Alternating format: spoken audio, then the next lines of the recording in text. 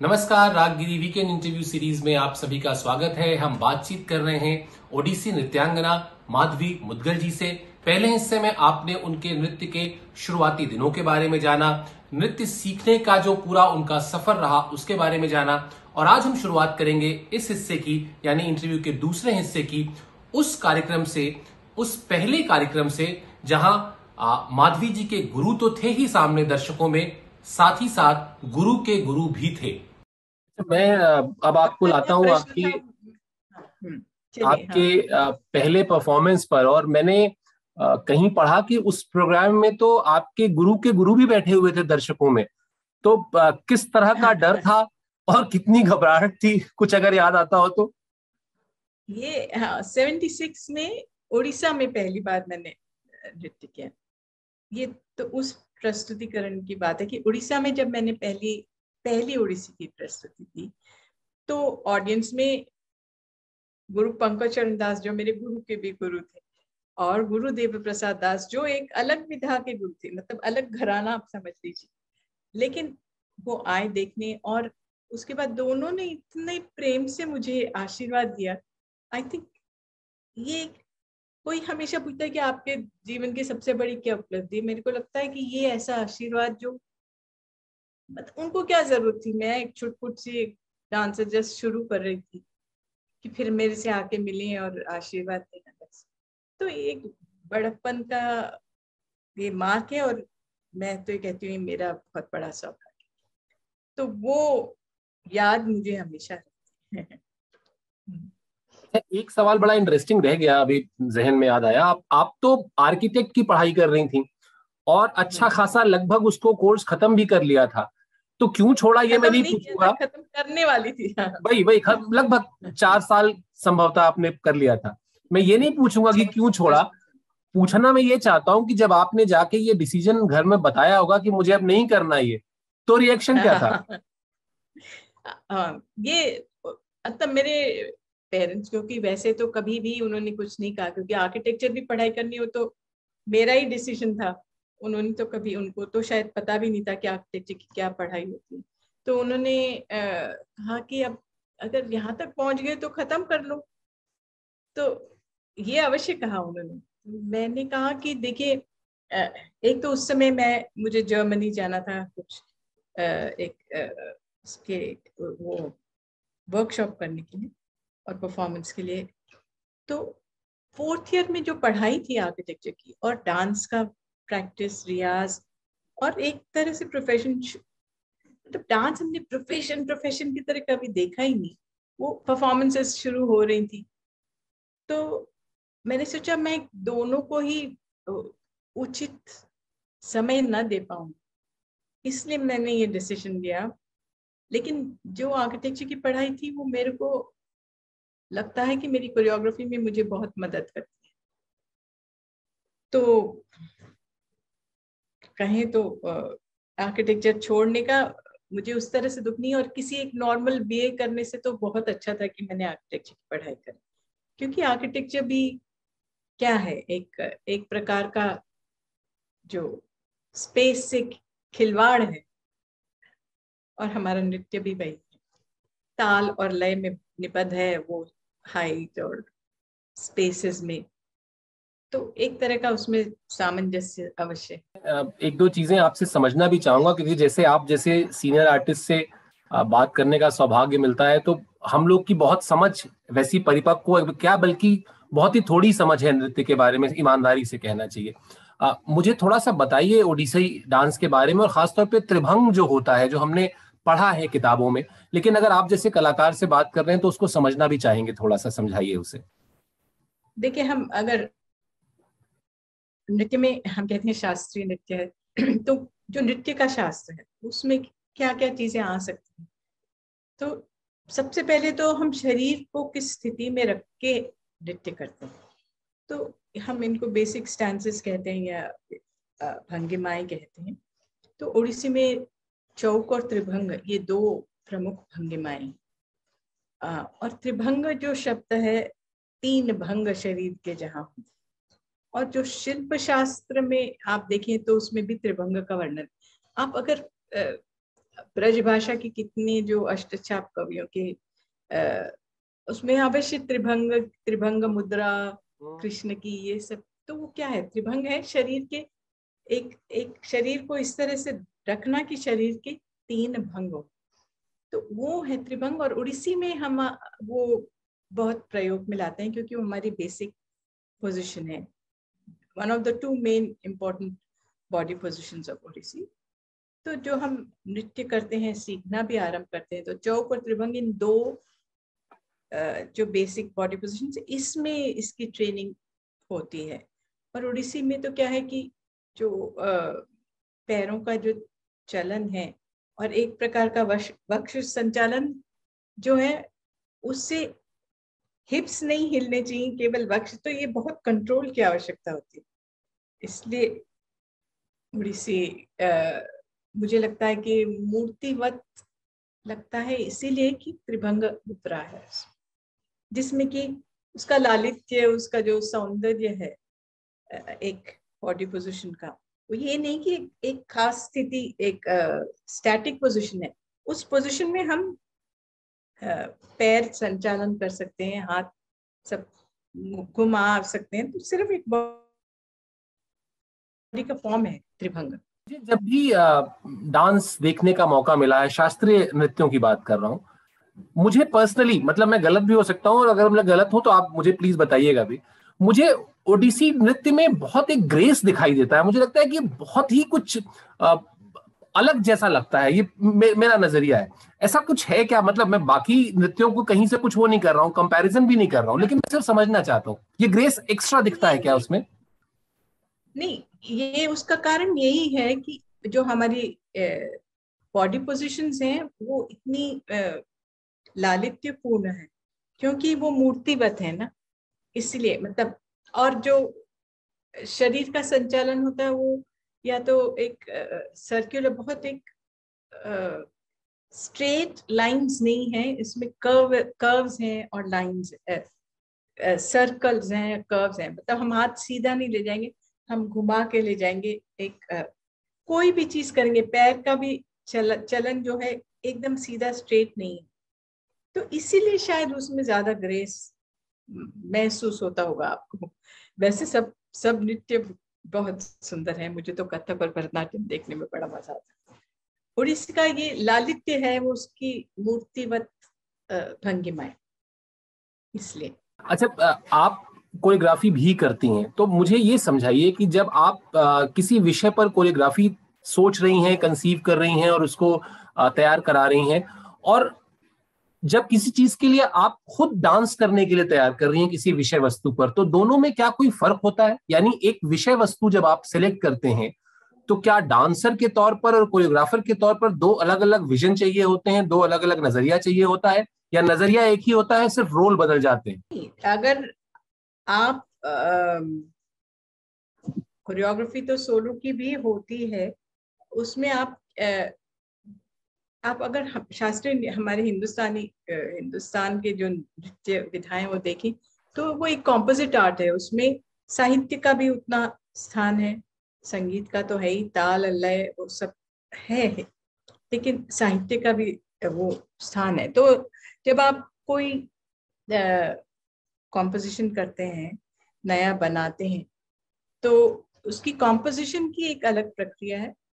और जो मैंने अपने गुरु से सीखा है उसको आत्मसात करके उसमें अपने रंग में रंग के उसको प्रेजेंट करना वो एक अलग चीज़ है। कॉम्पोजिशन कोरियोग्राफी करना एक अलग विधा तो वो ज़रूर है। ए, ए, मतलब बहुत सारे अच्छे बहुत अच्छे डांसर्स कोरियोग्राफर्स नहीं है। वो सिर्फ़ अच्छे नर्तक है।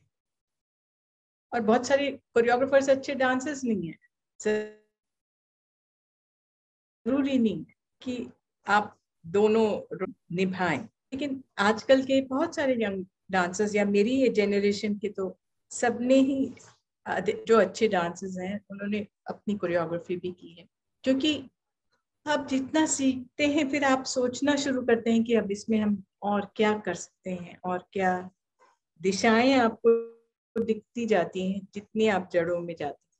तो वो दो प्रक्रिया अलग है। सिर्फ़ एक प्रेजेंटेशन देना और एक सोच के कुछ बनाना ये एक अलग कहानी अच्छा एक चीज़ और बताइए, जैसे मान लीजिए मैं कवाली का एक एग्ज़ाम्पल लूँ कि कवाली के तमाम प्रकार होते थे, लेकिन आज मौजूदा जब हम कवाली सुनने जाते हैं तो कुछ ही चीज़ें सुनने को मिलती हैं।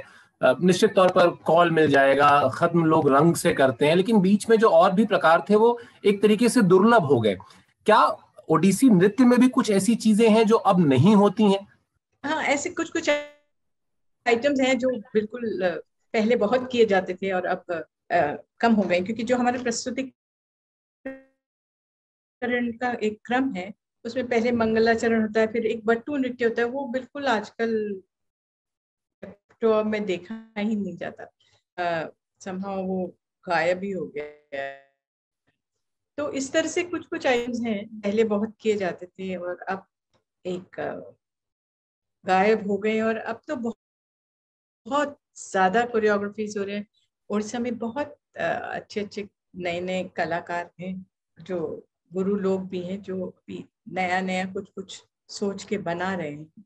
तो बहुत सारी इस तरह की कोरियोग्राफीज मैंने इंटरव्यू की शुरुआत में आपके और मधुब जी के बचपन के बारे में बात की थी जब आप इस तरह से कलाकार नहीं थे डिसिप्लिन नहीं थे बच्चे थे अब जब आप दोनों लोग अपनी अपनी विधा के बहुत सशक्त नाम हैं, मज़बूत नाम हैं, और हम हमेशा कलाओं के अंतर संबंध पर बात करते हैं, अब आप भाई बहन का होना, अब उस नृत्य में और उस संगीत में आप एक दूसरे को क्या देते हैं, एक दूसरे से क्या हासिल करते हैं, क्या सीख लेते हैं, क्या है वो वो वो समझाइए। हाँ मधुपुर में क्योंकि बचपन से ही उसने हमारा नृत्य देखा है, वो तो क्लास में भी बैठते थे, वो भी कुछ कुछ अपनी एक्शंस कर लेते थे तो वो, क्योंकि उन्हें नृत्य की समझ उस तरह से हो गई, वो ऑस्मोसिस से जस्ट बाय बीइंग देयर तो और मेरी तो अधिकतर जो भी मैं नई कॉम्पोजिशन करती हूँ, सारी कॉम्पोजिशन उसका संगीत वो ही करते हैं हम्म। तो उनके साथ बैठ के डिस्कस करके कुछ बनाना, कुछ लड़ना, कुछ क्योंकि वो जो कहते हैं कि वो संगीत की दृष्टि से ये होना चाहिए और मैं कहती हूँ, नहीं, नृत्य की दृष्टि से हमें ये नहीं चाहिए। तो इस तरह से लड़ते झगड़ते भी हम कुछ बनाते हैं, लेकिन मेरी सारी कॉम्पोजिशन उन्हीं की बनाई हैं क्योंकि वो समझते हैं। को और गुरु जी जब दिल्ली में हम, जब सिखाने आते थे तो वो उनके साथ रहना, उनको देखना, वो कैसे बनाते हैं, वो वो भी समझना तो वो भी समझ उनको है। तो इसलिए दोनों का उस तरह से तो हमारा बहुत सहारा है, मुझे तो बहुत सहारा है। मैं तो उसके गायन में शायद कोई इतना योगदान नहीं दे सकती, लेकिन मेरे नृत्य में उनका बहुत योगदान अच्छा जब आपके कुछ प्रोजेक्ट्स के बारे में भी जानना चाहूँगा। एक तो जो उड़ीसा के ताल वाद्यों पे आपने काम किया, फिर उसके बाद एक प्रोजेक्ट आपका गंगा के विस्तार पर था। इसके फीडबैक कैसे मिले आपको? नहीं ये तो जब मैंने सोचा कि ग्रुप के साथ, क्योंकि जब आप सिखाते हैं तो आपके सामने एक बॉडी नहीं, अनेक बॉडीज हैं। तो उसकी का अलग स्ट्रेंथ है। सो सोलो तो खैर असली इसका रूप है। और जो एक बहुत परिपक्व कलाकार है वो इसी का असली रूप है। बट जब आप ग्रुप में अगर आप उसको एक नई दिशा आपको दिखती है मुझे दिखी इसलिए मैंने सोचा कि कुछ नए कॉम्पोजिशंस बनाए जाएँ जो ग्रुप में उपयुक्त हो लेकिन उसका बेस हंड्रेड परसेंट उड़ीसी हो, हो। उसमें कोई मॉडर्न मूवमेंट नहीं डालना कोई। लेकिन नई मूवमेंट्स उसी बेस पे बनाना वो वो अवश्य था। तो उसने मैंने एक आ, आ, सबसे पहली जो तीन थे उसमें सोहम अस्मी एक बहुत सबसे पहली मेरी कॉम्पोजिशन थी। जो ईशावास्य उपनिषद के उस पर आधारित है। और उसके बाद पल्लवन भी थी जिसमें अलग अलग जो हमारे तीसरा मिश्र तीसरा चतुस्र खंड मिश्र संकीर्ण जातियों को उस पे बेस करके बनाया था। ये वाद्य वैविध्य जो है उसमें क्योंकि उड़ीसा के सिर्फ़ हम तो पखावज और अधिकतर हम यूज़ करते हैं। मर्दड़ अब उसको कहने लगे हैं उड़ीसा में।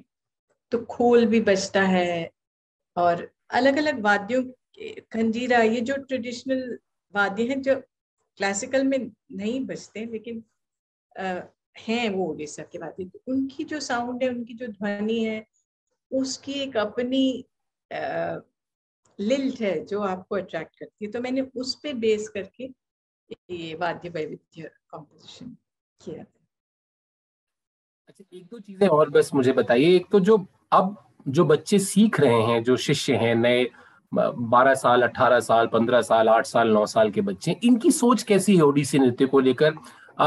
ये आ, मतलब ऑब्वियसली सीख रहे हैं तो उनका इंटरेस्ट है तभी वो सीख रहे हैं। लेकिन आप एक गुरु के तौर पर उनके अंदर जो उनका सोच है उस डांस को लेके वो कैसे देखती हैं? देखिए जब ये बच्चे सीखने आते हैं तो उनको बहुत कम ऐसे हैं जिनको कि ओडिसी क्या है ये मालूम है। वो शायद देखे हैं उनको इंटरेस्ट है उनको अच्छा लगता है तो वो कर आ, सीखने के लिए आते हैं। कई बार माता पिता उनको लाते हैं कि इनको सीखना आवश्यक है और तो वो लोग उस तरह से आ, सीखने की शुरुआत होती है। लेकिन ये समझाना कि ये कला क्या है आज के जो एकदम बदला हुआ सिनारियो है, गुरु शिष्य परंपरा, हमारी जनरेशन का हमने जो जिस ढंग से सीखा, वो आज के संदर्भ में देखें तो वो डाइल्यूट तो हो चुका है। उस तरह से एक गुरु के घर में जाके कौन शिष्य रह, अभी भी रहते हैं, लेकिन कौन गुरु ऐसा पाल सकता है कि दस बच्चे उसके यहाँ रहें, खाएँ, पिए, नहीं हो सकता। तो इंस्टीट्यूशन में हम किस प्रकार से उस, उन बच्चों को जो बहुत कम, क्योंकि ये तो उड़ीसा भी नहीं है, उड़ीसा में तो उनको एक संदर्भ मिल जाता है। हमारे दिल्ली के बच्चे अब सीखने आ रहे तो उनको वो सोचते हैं कि चार दिन करके कुछ कुछ स्टेज पे आ जाएँगे। तो पहले ही मैं बता देती हूँ, माता पिता, दस बारह पंद्रह साल से पहले कुछ ना हो पाएगा, आप ये मत सोचिए कि एकदम से।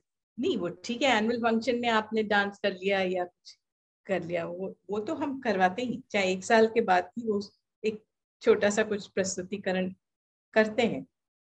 लेकिन ये जो एक कला है, जिसके लिए साधना की आवश्यकता है, जिसमें एक केवल सीखा हुआ नहीं, उसमें बहुत सोच से वो करना पड़ता है तो हम कोशिश करते हैं कि वो बच्चों में आए और मैं ये कहूँगी कि बहुत से ऐसे शिष्य निकले हैं जो ये समझ के करते हैं। अभी भी मेरे पास बहुत अच्छे स्टूडेंट्स हैं जो 10-15 साल सीख के भी सीखना चाहते हैं। नहीं तो लगता है ना कि हमें आ गया। आपने गुरु शिष्य परंपरा की बात की तो एक शिष्य को चुनते वक्त एक अच्छा शिष्य कैसे चुना जाए? कुछ इसका कोई फॉर्मूला है क्या आप लोग कुछ देखते हो कि हाँ ये है ये है ये दो तीन चीज़ें हैं तो ये अच्छा ही शिष्य होगा। कुछ शेयर कीजिए हमसे। नहीं शुरू में शुरू में तो ये देखते हैं उनको अगर गा, गाना सीखने आए तो उसके गले में सुर है कि नहीं।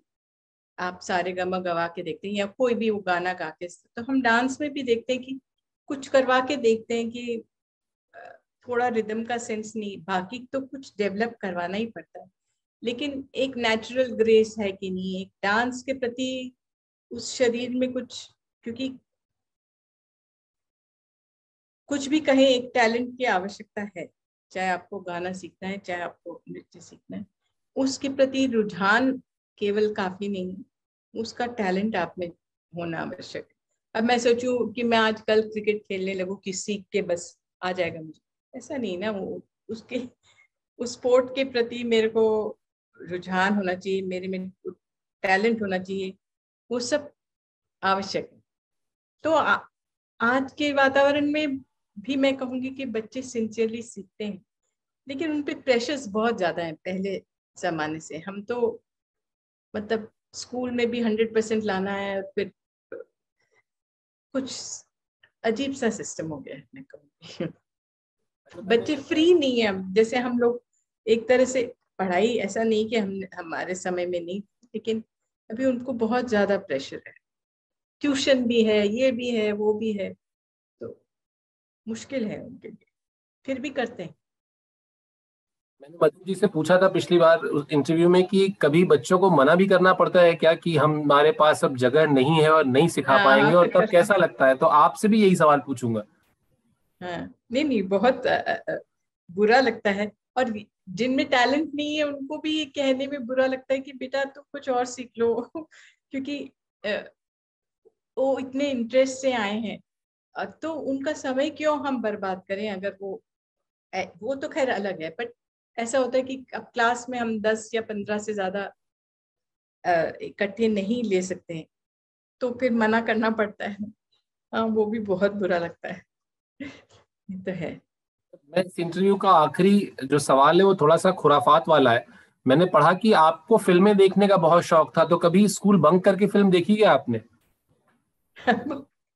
बंक करके कॉलेज बंक करके ज़रूर देखी स्कूल बंक करके नहीं देखी तो ऐसा हाँ, मतलब अक्सर हुआ या?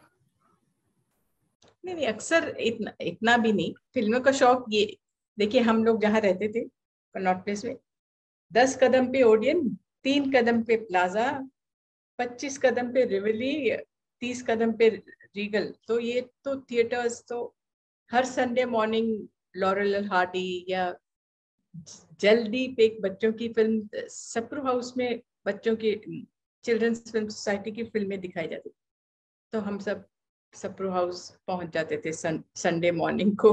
कितनी बार हमने देखी होगी जल्दी। इतनी सुंदर फ़िल्म थी बच्चों की। तो उस समय तो हम उस तरह की फ़िल्में देखते थे। कॉलेज में ज़रूर बंक करके हाँ देखी है फ़िल्में। अभी समय मिल पाता है। बहुत कम हो गया बल्कि नेटफ्लिक्स वगैरह भी मैं नहीं देखती हूँ ज़्यादा। मतलब मैं एक तो ये इंटरनेट वाली नहीं हूँ और संभव ना मेरी वेबसाइट है, ना कुछ है तो आज के जमाने में आप बिलोंग ही नहीं करते अगर आपके ये सब कुछ नहीं इंस्टाग्राम और ये सब फेसबुक फेसबुक भी नहीं है। मेरे स्टूडेंट्स ने कुछ बना रखा है। इंस्टाग्राम भी वो उन्होंने बनाया है और मैं नहीं देखती हूँ तो मैंने कहा प्लीज़ ये लिख दो कि मैं नहीं देखती हूँ। लिख दो लोग कुछ पूछेंगे और उनको लगेगा कि मैं बहुत रूड हूँ जवाब नहीं देती हूँ। आपकी इसी सहजता का ज़िक्र हम लोग सुनते रहे और मैं स्वयं जब भी हम बात करते हैं तो महसूस भी होता है। और इसको आ, कहना चाहिए कि ठीक है अगर नहीं सेवी है वो नहीं करना तो उसके लिए परेशान भी क्यों होना? आ, आपने वक्त हम्म। निकाला दीदी बहुत बहुत धन्यवाद। और आ, बहुत अच्छी बातचीत रही। लगभग लगभग सारे पहलुओं को हमने कवर किया। थोड़ा मैंने जैसा शुरू में कहा था थोड़ा बोरिंग आपके लिए रहा होगा क्योंकि कुछ सवाल बहुत कई बार आपने बताए होंगे लेकिन इंटरव्यू के कंप्लीट होने के लिए ज़रूरी है वो मुझे पूछना। बहुत बहुत धन्यवाद दीदी। नमस्कार।